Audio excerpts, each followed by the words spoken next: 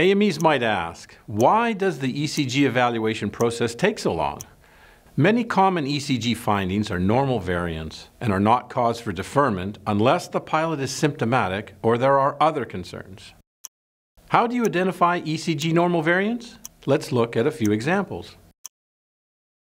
Sinus bradycardia is a normal variant if the pilot is 49 years of age or younger and their heart rate is greater than 44 beats per minute.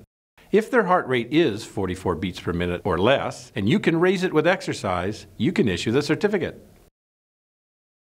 Sinus tachycardia is a normal variant if the pilot's heart rate is less than 110 beats per minute.